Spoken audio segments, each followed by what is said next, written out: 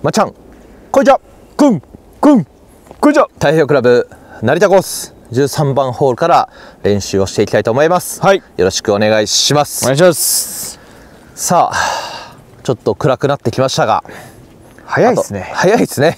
数ホール練習して。まあここだけかもしれないし、はい。ちょっとアプローチとかもやりながらねやっていきたいと思います。よろしくお願いします。お願いします。久しぶりですね13番。インコース自体がね久しぶりだから成田コースはちょっとやっぱりハザードが多いですね。多いですね。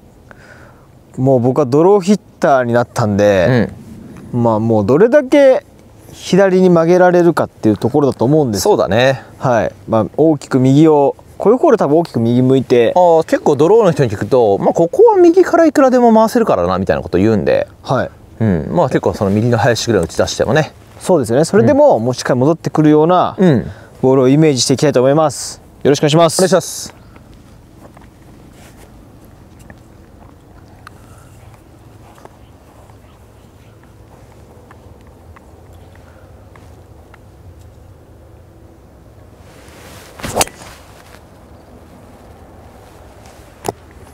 まっすぐ行ってしまった。あのミスが出ると OB 行くんですよ右に。そうですね。ドローヒッターがはい。そのまま行くとだ僕が左の池向いて左の池に突っ込んでいくような感じでしょ今の。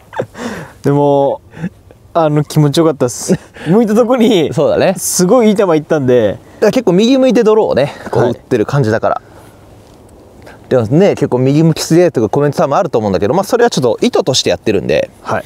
僕がいつも左池向いてるのは。でこのホールで和子さん最近あんま左向かなくなりましたそうなんですよ。まっすぐ出るんで。じゃあまああの黄色のあれぐらいだね OB の。お願いします。お願いします。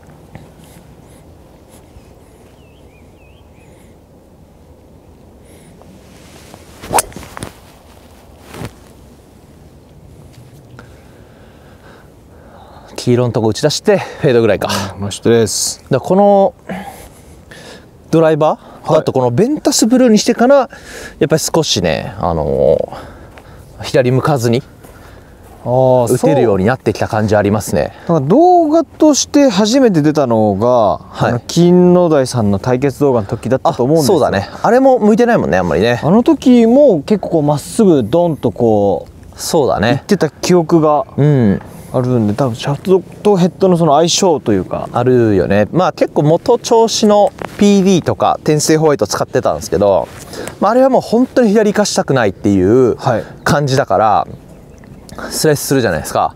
じゃあ左向かないといけないっていう まあループに陥ってたって感じかな、あまあそれはそれでいいですよね、まあ、それはそれで良かったですよ。OK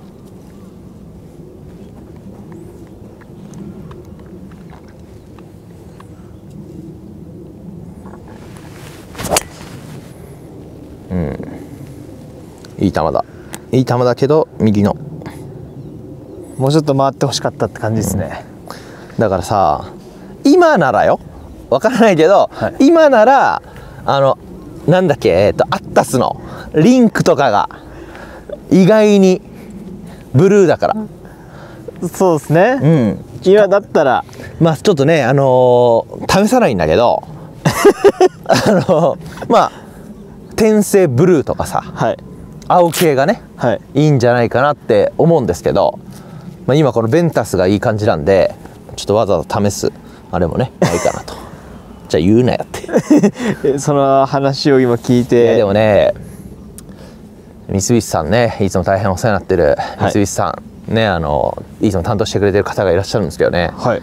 ちゃんとねあのお正月にね今年もよろしくお願いしますってあの連絡が来まして。すいません僕からそういうの連絡あんまりないんで。本当にありがとうございます。もうねもうあの結構古い付き合いで。はい。大変お世話になっててねなんですけど僕はあんまりそういうなんか明けましてとかあんまりしないタイプ。まあそうですよね。昔からうんそうなんですよね。聞かないですもんね、うん。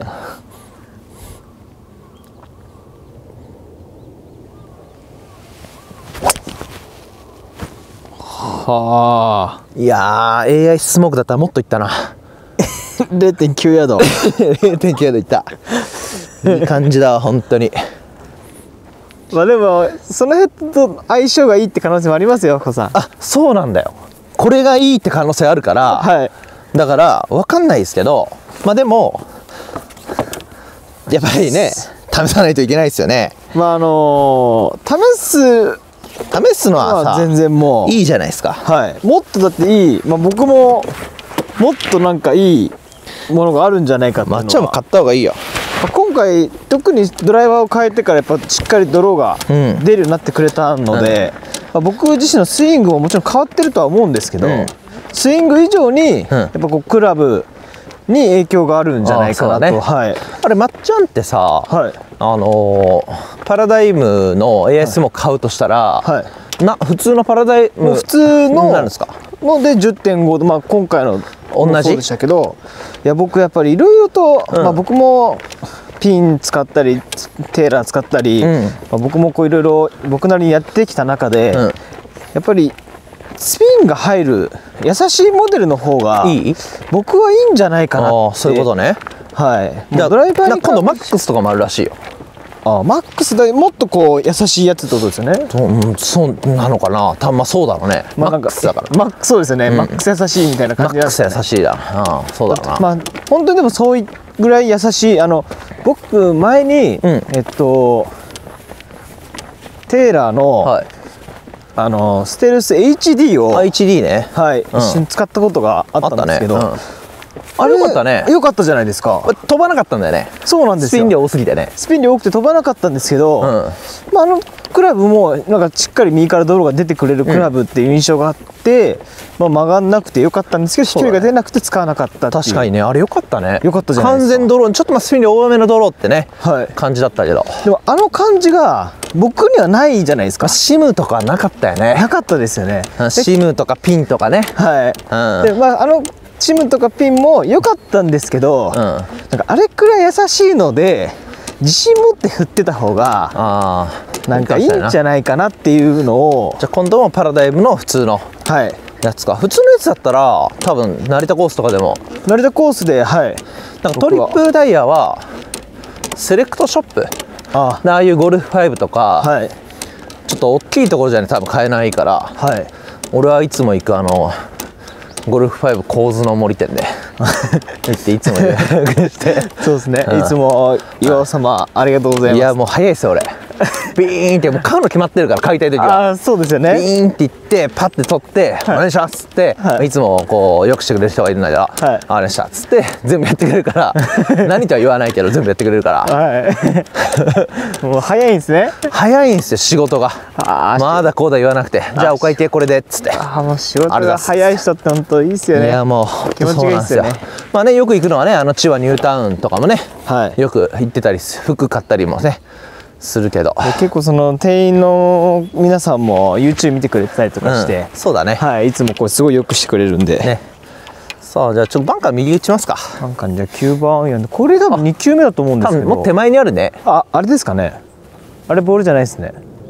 ちょっと見えないですね僕から。まあ後で探しましょう。わかりました、うん。じゃあじゃあバンカーの右に。はい、いいですよ。別にシートの上グリーンキャリー奥行くんだったらグリーンに打ってもえでも6番アイアンでちょっと危なくないですか？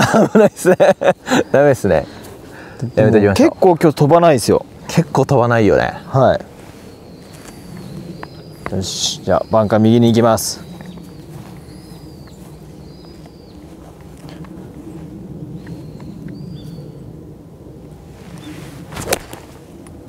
うんよいしょ。ありがとうございますまあまあですね。でちょっと抹茶のボール拾っていきましょう。はい。はい和穂さんセカンドです。はい、えー、9番円で右に打っていきたいと思います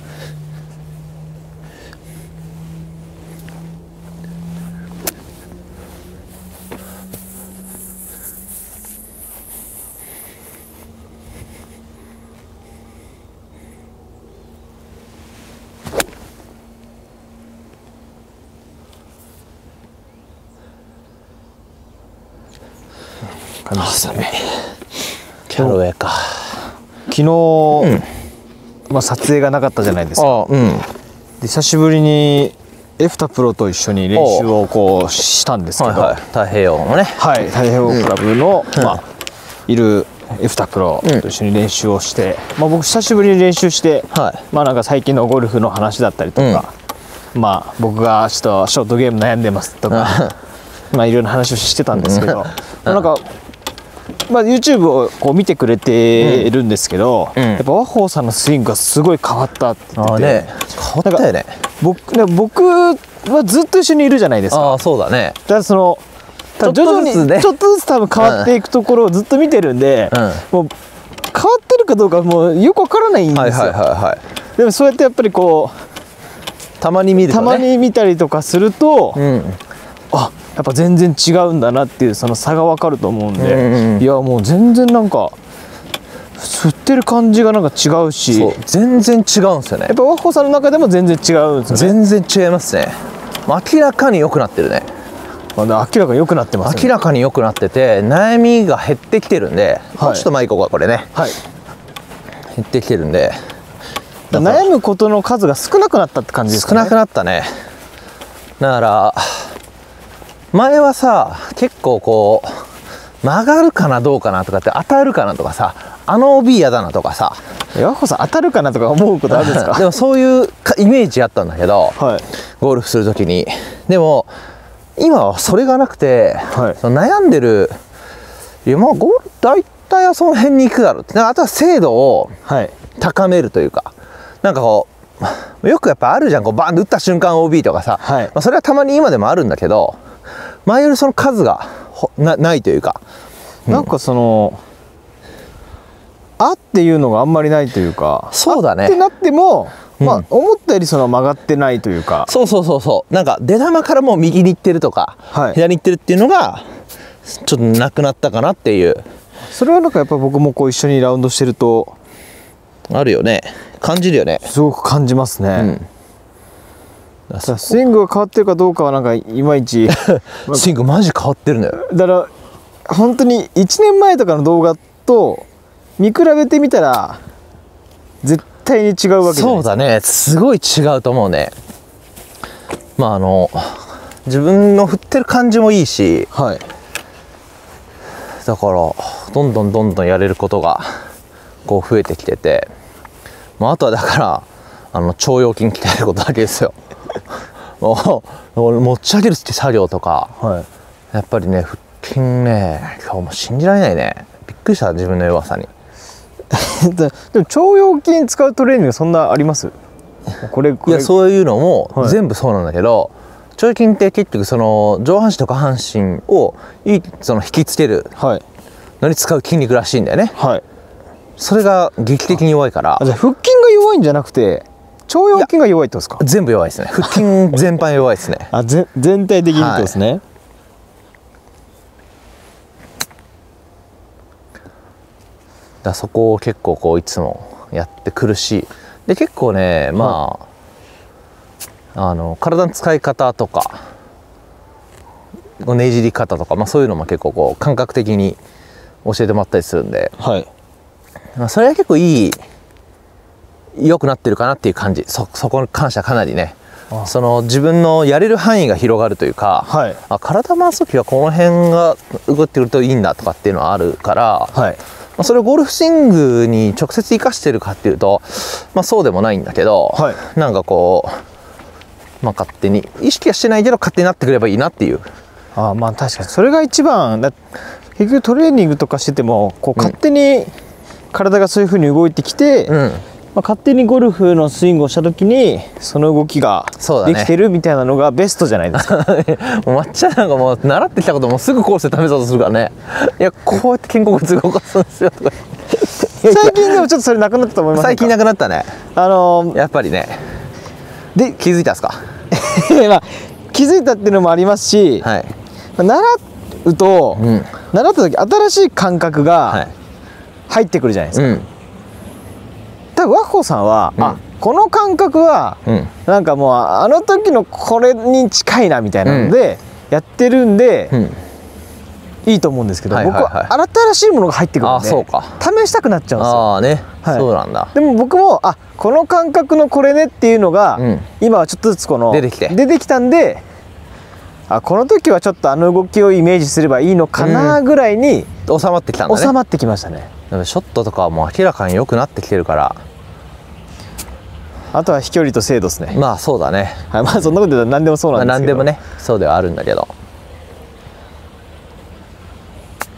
でも大事なのはうん。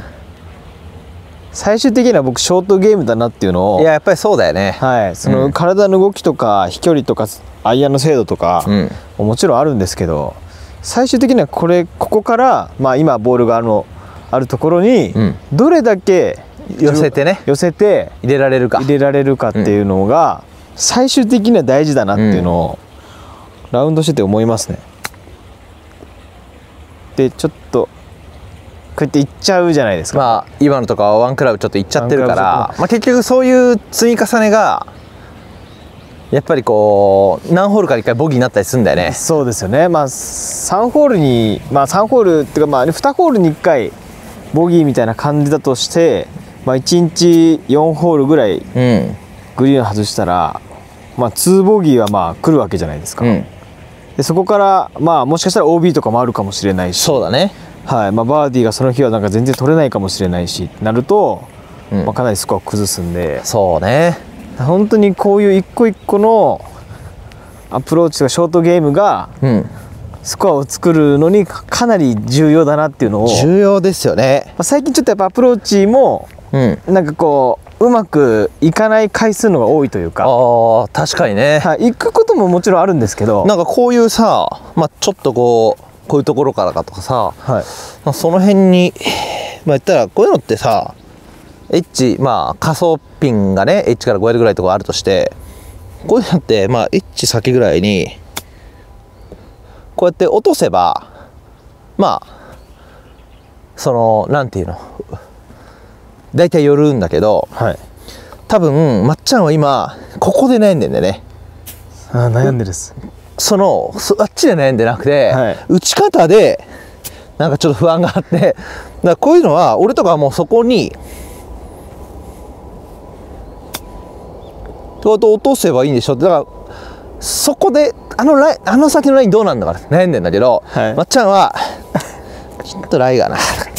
よく言うねでもライ悪かったら、はい。俺からしたらライン悪かったらまあこれでいいその手前に持っていけばいいっていう考えになるんだけど、はい。このラインかどうやって打とうかなって悩んでんだよいねやそうなんですよ。だなんかあの悪いからもういいじゃんこれでみたいな。いあのいやわかります。やこれお前のこと言ってるからな。いやもう本当になんて言うんですかね今までってか前までは結構、うん。なんかこうボールから先でうん。悩んでたというか、うん。そのあこのラインは、はい。まあ、ちょっと左に振った方がいいのかなとか、うん。ピン方向に振った方がいいのかなっていうので、悩みはあったんですよ、うん。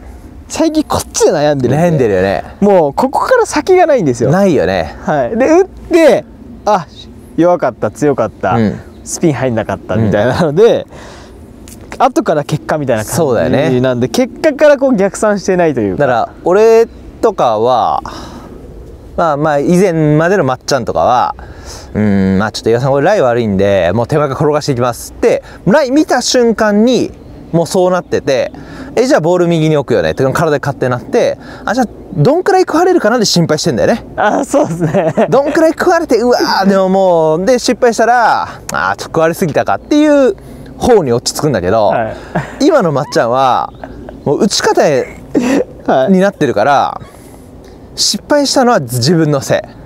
自分っていうか自分の振り方のせいになっちゃってて。あそう。これは良くないね。だそれうまい下手とかじゃなくてアプローチの打ち方どうこうじゃなくて、まっちゃんの考え方が間違ってるんだよ多分。いや,、ま、いやもう間違ってますね だもう。そこの今ライちょっと悪いし一番手前のボール、はい。じゃあさあ別に開いて上からドスンって打ってさ、はい。1ぐらい落とせばいいだけだもんね、いやそれをうん、こうかな考えてんだよね。やってるよねまっちゃん。なんか最近。最近本当にやってますね。ね。やって失敗。でバンカーとか入った時もうん。前までは、まあうん。バンって打って、うんその結構開いて止めなきゃいけないと思ってうん。バンって言って、フェースを先もやったっても、うん。これは開いて止めに行ったから、うん。仕方ないやと思ってたのが、うん。なんか先っちゃったのかなみたいな。そうだよね、結構そういう感じにはなっててね。そうなんですよ。ネガティブだねネガティブ。だから前よりやっぱちゃっくりが怖いですもんね。う前はちゃっくり怖かったらしないようにしてしたのが。ないようにね。はい。今もっと頭の中シンプルにしないといけないね。そうですね。ここからまあエッジから5ヤードさっきのところにうん寄せたいと思ったら、別に手前から転がしていってもいいわけですもんね。いいよね。これ右に置いて。うん、うん、それで食われたら、はい。もう今のはもう女この芝が長いのが悪いとかって。グリーン周りとか、まあまあ逆目でそうそう。まあ、そこを見見れなかった自分をそうそうそう。だからそこまで計算いってれば強く入れたりするから。そうですね。で今度ライいいじゃん、これライいいですね。ライいいからまあエッジ先に落とせばいいだけでしょこれエッジ先に落とせばいいですね、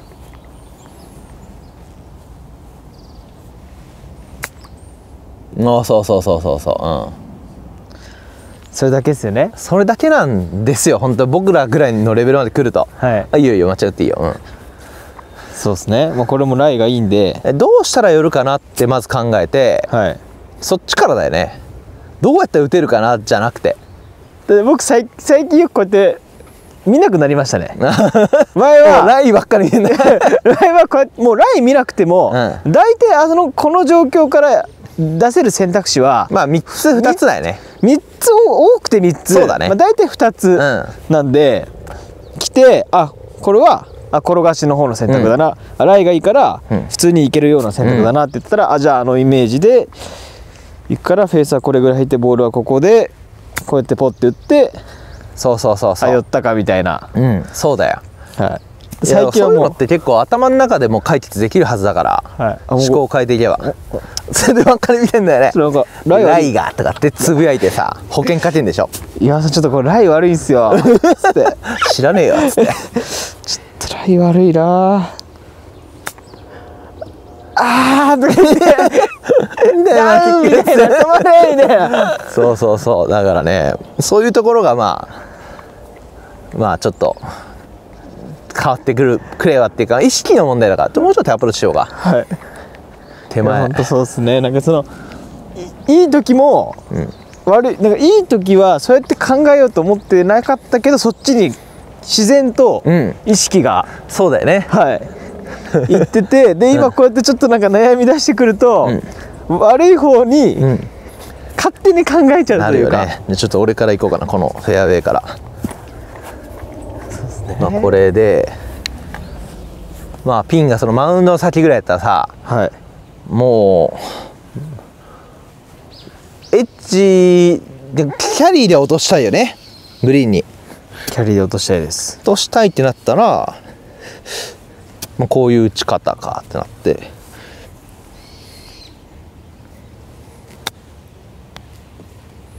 あー、まあ、強く入ったかとか。このライだとちょっと低く出るなとかだったらさもうちょっとバウンサー当てに行くかとかね。こうなんかそっちで悩みたいよね。そっちで悩みたいですね。両方とも失敗。両方とも失敗。だったでもその失敗した時も、うんまだなな前向きに考えられるというか。そうだね。なんか打ち方では悩んでないね。ちゃっくりがどうこうとかね。やばかったらピッチング持つみたいなね。いやそうですね、うん。あこれはもうライがだからいいからね。いいんでまあそんなまあいつも通りですよね、うん。そこまで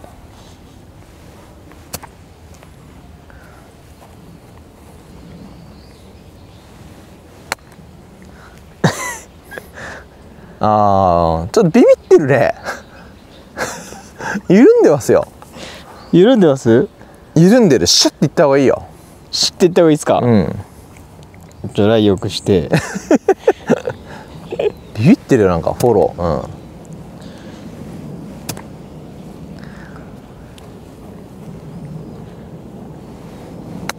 うん。うん。そうそうそうそう。こういう感うんじですね。ビビってるよなんかフォローが。ビビってます、うんこれが28の難しい まだ簡単だな。